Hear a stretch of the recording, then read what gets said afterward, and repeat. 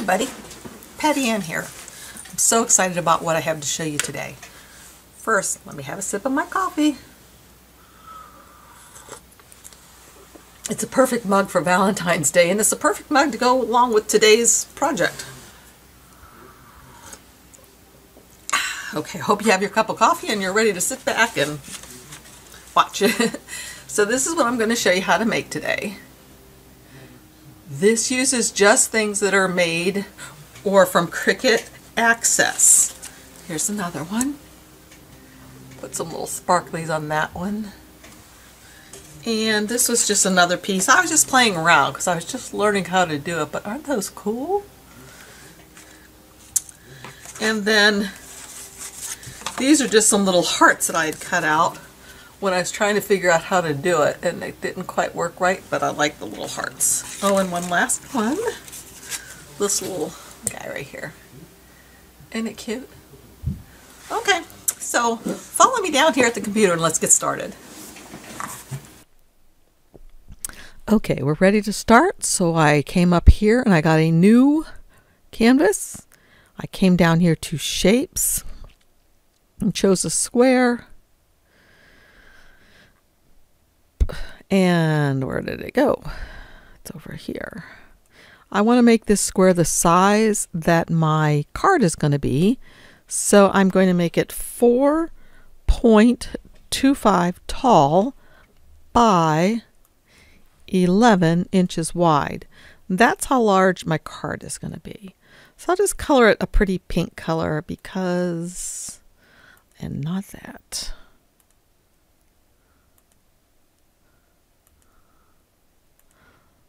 Okay, that's good. And I'm going to hide that for right now. The next thing I'm going to do is bring in another shape. It's going to be another square. And I'm going to make it the half size of the card, you know, between the, when it's folded up. So again, it will be 4.25 inches tall by this time half of the width, which is 5.5. 5.5. And this is how big my card area is I have to work with. Okay, the last thing I'm going to do is I'm going to bring in a heart. And I'm going to bring it over here to see what size I'd like it to be. And I really like it to be about like that.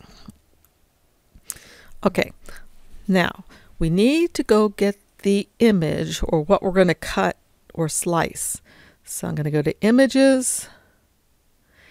And if you recall, I had the image number for you in my Facebook group, Cricut Design Space with PattyAnne. And here it is right here. Click on it and don't forget to hit this.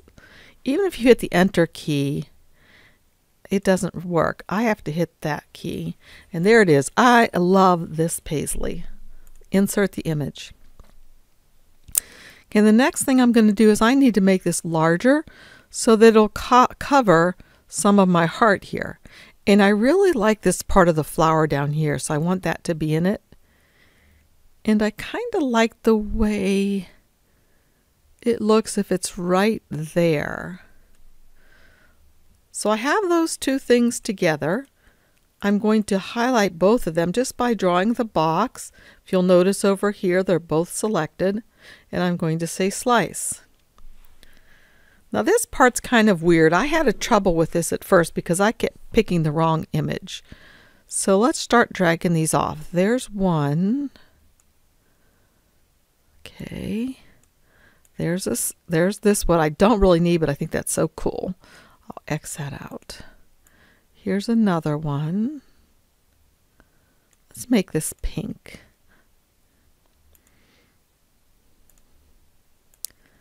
Okay, and then here's the third one.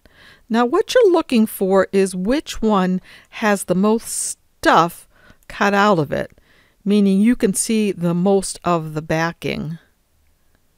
Okay, look at the heart, look at the flower part right here. Look what's cut out of this one, so much more than this one. All this is what's left. So these are the two I don't want to use because these are exactly the same actually. Put them on top of each other. this is the one I want right here. Okay. So I am just going to cut this out. And actually what I can do now, I just use this box as a sizing reference. I can actually get rid of that box right now by hiding it and bring this one back out. Let me delete these because I'm not going to use them, although they're really pretty. I'm going to use this. Let's see, is that size right? 4.25, yeah. So I think my heart is still a little bit too large. I'm going to make it a little smaller. Actually, if I bring this all the way over here to the side, to, to the side, and line it up at the zero mark, you remember it was 11 inches? I can basically know that the middle of this is right here, right where this plus sign is. So I want to have this heart kind of centered there in the middle. That looks pretty good.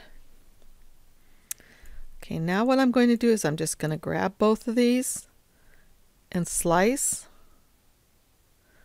So I can take that one off and get rid of it, take that one off and get rid of it, and now we're left with the gorgeous card. Now the other thing that I could have done though, before I did this, or even now, I can go to contour.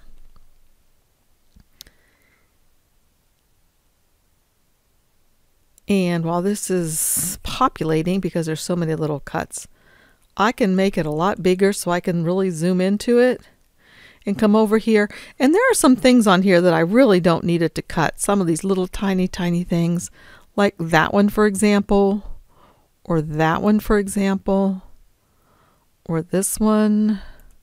So you can just go in here if you'd like to and get rid of some of these that you don't particularly think need to be cut. Oh, there's a little one there. Boop. And of course, if you accidentally hit one you don't want to hit, I want that in there. I'll just hit it again and it comes back. There's a little guy right there. I don't really think I need that one. So I'm just kind of willy nilly deciding some of these little ones that I don't need. And you may find that you want to do more than that. Like, I don't like that one. Kind of an odd closed up shape. Okay, when I think I'm done with that, I just click off of that. And there it is. So now my card is ready. Um, the only other thing was now on this card, I also did two more things. So I just came over here to shapes and made a rectangle. And I took the lock off. And I just, whoops, I took the lock off. And I just kind of sized it how I thought it would look nice over here.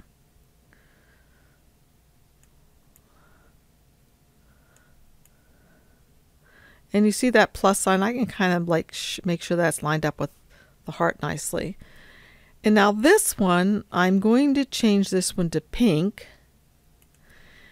And on my next, the other one that I did, I made I duplicated this, took off the lock, made it smaller so it would fit inside of that one nicely.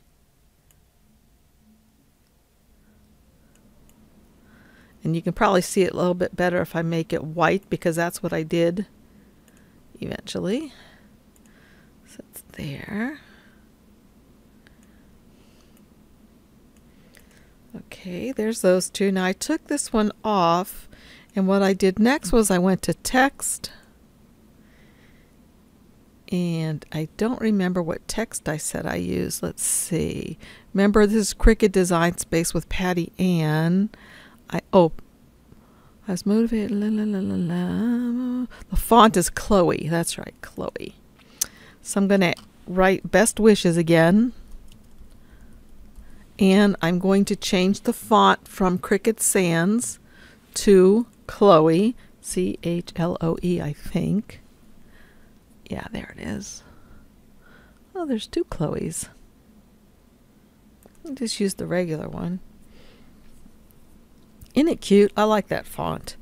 And then what I did was, instead of using this uh, letter spacing and just click, click, click, click, click, I just went ahead and I came up here to advanced and said ungroup to letters so that I could put my letters fairly close together. Okay. And then a little less space in between the words.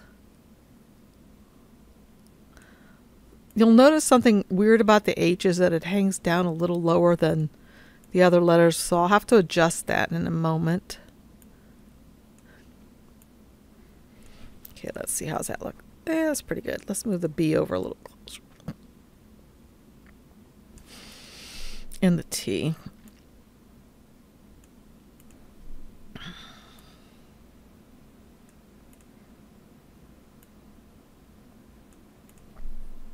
And you can just putz with this until you get it the way you like it. Now I would just highlight this and then I come up here to the align tool and I'm going to say align bottom which works perfectly for all of the letters except for the H. Remember I said he was a little unusual so I need to move him down by himself.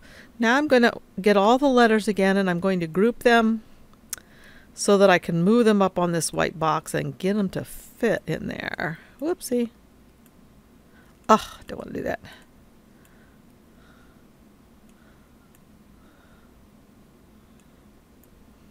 And I think I need to zoom in a bit so I can see better what I'm doing.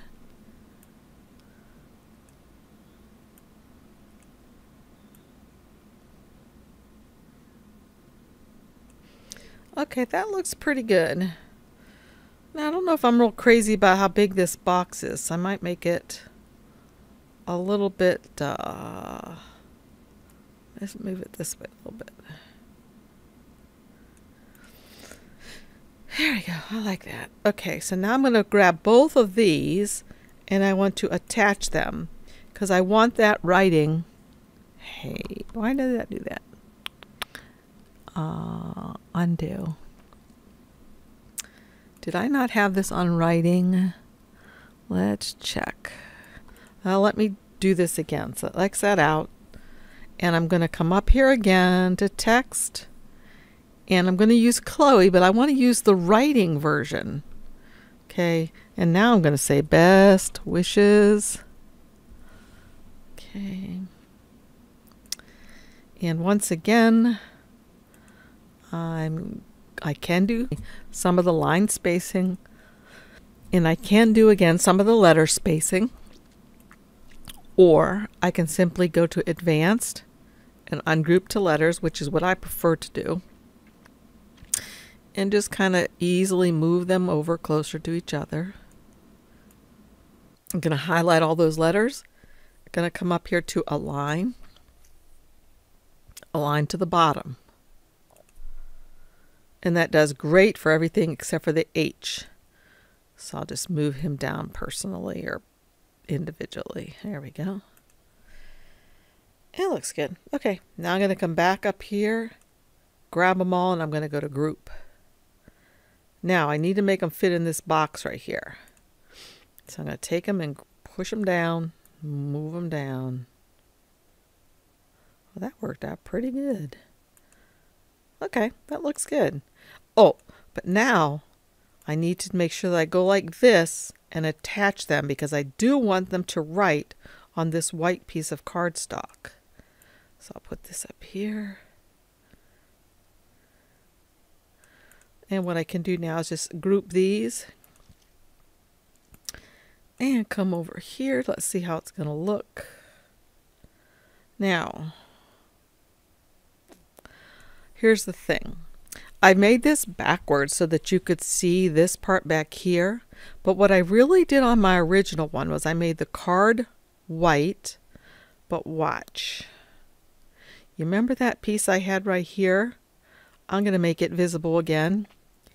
And that's exactly half of the size of the card. I'm going to click on the big card. This is it here highlighted. I'm going to change its color to white. And now behind that, I'm going to put the other piece of cardstock.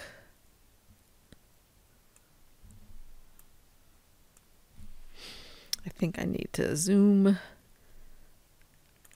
out.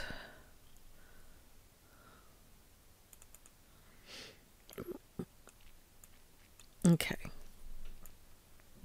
I thought I made this piece. Oh, let's see. What did I do? Oh, this piece has been changed to 5.5. So I want this to be 4.25. 4.25. Okay, there we go. And then it'll fit behind here. So let's scroll in. And now you can see it's going to be beautiful. I just think this card is so delicate and so pretty. So you probably know what we're missing. One last thing, and that is the score line. So I come over to Shapes and grab the score line. And for some reason, always puts it way over here. Or it's hard to figure out where in the world it is. So if I highlight it, it should select it on the screen somewhere. there it is. Okay.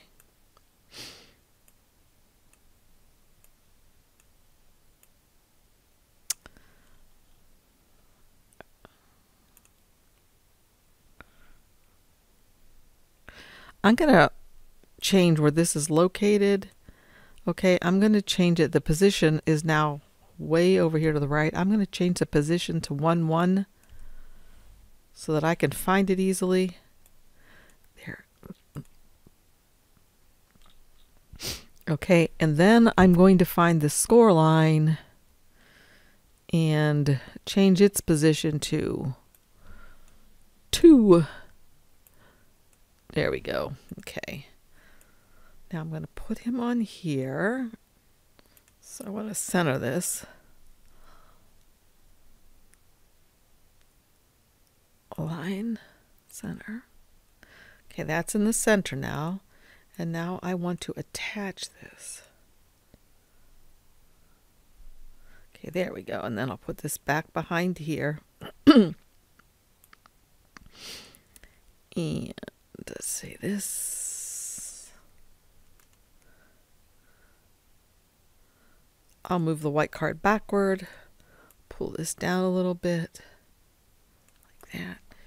And there you have it. That's how easy it is to make this card. It's really simple and it's really fun. So if I was to hide this one, and let's say we wanted to make another one, again, all we would do is go to up, not upload, sorry, shapes, bring in a square. Okay, let's just pretend we're going to make one five by five. Then the next thing I want to do is I come up here and let's say I want a shape to be a circle. And it's going to fit nicely on this card. Perfect. And now let's say I want to fill that circle with something rather cool. I could fill it with this again because I love it. Let's try something else. Cartridges. Um, let's see. lace.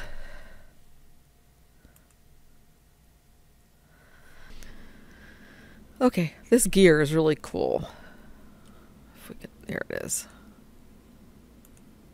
Insert. Okay, this has two pieces, so I just want to get rid of the background. And then I'm going to put it over top of the circle and I need to make it larger than the circle.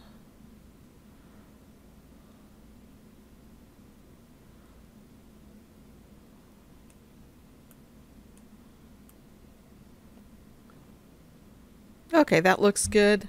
And now I'm just going to go to hit click on them both and slice. Okay, I'm going to change the card so you can see what I mean more easily. So I'm going to take this piece off. That looks like there's a lot of white space. Take this piece off. We know we don't want that one. Take this one off. That one looks like it's exactly the same as that one. And take this one off. Oh boy, which one of these do you think is the one we need? Well, I think I need this one right here because if you'll notice, this background just goes right into this part. Everything's kind of connected. So let's see. If we take this and this and slice, we pull off this and we pull off this. Okay, you can see that is perfect because all of this creamy color or this yellow color is all connected. The white pieces are what is cut out. I could make my background a different color if you'd like so you can see it more easily. And we can get rid of all these. So now you could see this would be, if I had a blue in behind this, this is how it would cut out. Try to think of something cute that goes with gears. hmm, can't think of a cute saying right off the bat. But anyway, that's how you would do that one. Let's just try one more. So let's just get a square again. Any size. Let's just pretend like this is the size of, this is our card pretend. Actually, I think I'll make it a little bit, oh, like this. Nine. Oops, I meant to make it go the other way. So I'll hold the shift key down and rotate it. So we'll pretend like this card's going to fold right here in the center and I can do something right here. So we're going to go bring in another shape, square. Okay. Then we're going to bring in an image. And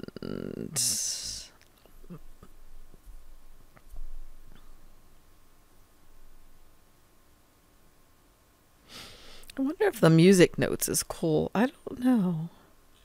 Try the music notes. No idea. So if I take the music notes, and I've got to make them bigger than the square, going to get rid of the back. May not want them that big.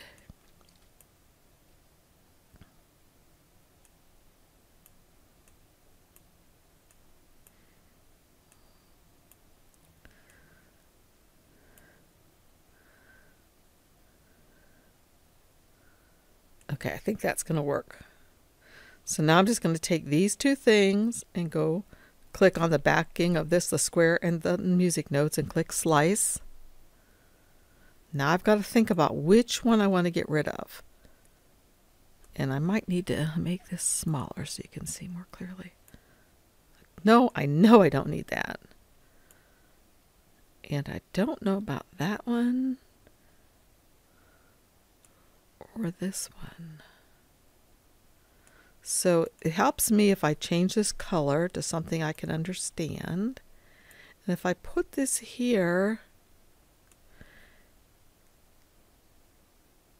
and all the cutout part, this one will not be the right one because the cutout part, I don't think, let's see which one these look like.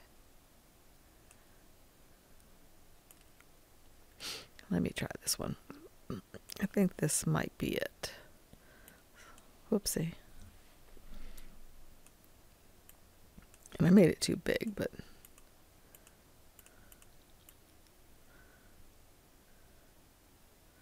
Okay, so let's just select both of these, slice, get rid of that, get rid of that. Ooh. Okay, that worked. It's pretty darn skinny though. And you can tell it worked because if I was to take another square and put it behind here,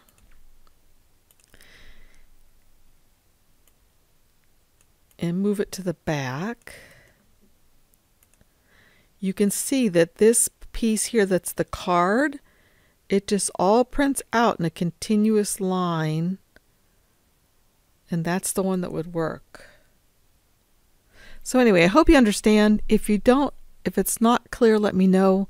Ask me questions. I like questions. The more I have to dig into stuff, the more I learn too. So thanks a lot for joining me. I hope this helped. Bye bye.